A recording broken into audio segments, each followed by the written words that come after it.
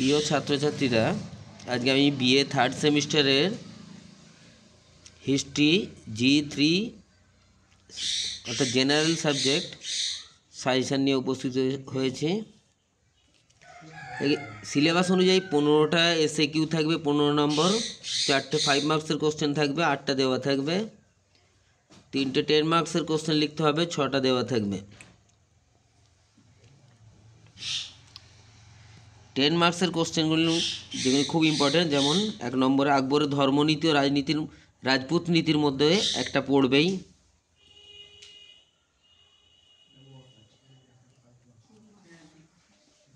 ইলিয়াস শাহী বংশটা ten মার্কসের জন্য খুব ইম্পর্ট্যান্ট ঔরঙ্গজেবের দাক্ষিণাত্য নীতি।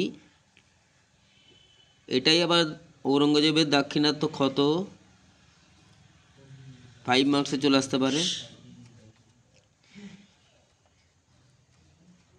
সুলতানি যুগে সংহতি স্থাপনে বলবনের ভূমিকা, এটা ইম্পর্টেন্ট খুব?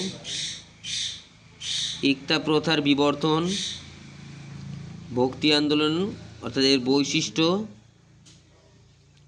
ভক্তি ভক্তি আন্দোলন আর সুফি আন্দোলনের মধ্যে একটা পড়বে। আমার মনে হয় ভক্তি আন্দোলনটাই পড়বে। সুফি আন্দোলনটা আগের বছরে ফাইভ মার্কসে মনে পড়েছে। ফিরোজ শাহ তুগলকের জনহিতকর বা জনকল্যাণমূলক কার্যাবলী খুব ইম্পর্ট্যান্ট আলাউদ্দিন খলজির অর্থনীতি সংস্কার, খুব ইম্পর্ট্যান্ট সাম্রাজ্য বিস্তার ইকতা প্রথার বিবর্তন মনসবদারি প্রথা। পনেরোশো ছাব্বিশ থেকে ছাপান্ন মুঘল আফগান দ্বন্দ্বের বিবরণ দাও। এর মধ্যে, দুটোর মধ্যে একটা পড়বে। ইলিয়াস শাহী বংশটা ইম্পর্টেন্ট ঔরঙ্গজেবের দাক্ষিণাত্য নীতি আর গিয়াসুদ্দিন বলবন। ইকতা প্রথা, ভক্তি আন্দোলন। শাহ তুগলক, আলাউদ্দিন খলজির অর্থনৈতিক সংস্কার। ইকতা প্রথা এখানে আছে, এটাই ইকতার প্রথার বিব- বিবর্তন।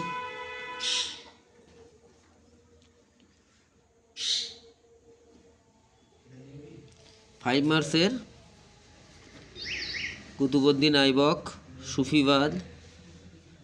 বিদেশি পর্যটকদের দৃষ্টিতে বিজয়নগর, এটা খুব ইম্পর্ট্যান্ট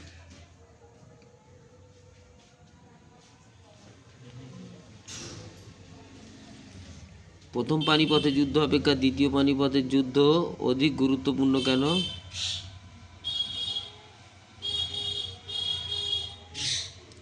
প্রথম পানিপথের যুদ্ধ অপেক্ষা দ্বিতীয় পানিপথের যুদ্ধের গুরুত্ব কি বেশি? আবুল ফজল, জাগিরদারি সংকট, খানুয়ার যুদ্ধ, গড়গড়ার যুদ্ধ, নূরজাহান চক্র, দিল্লি সুলতানি পতনে ফিরোজ শাহের দায়িত্ব।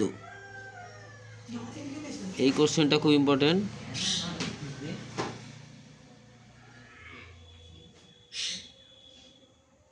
দ্বিতীয় পানিপথের যুদ্ধটা ইম্পর্ট্যান্ট আবুল ফজল নূরজাহান চক্র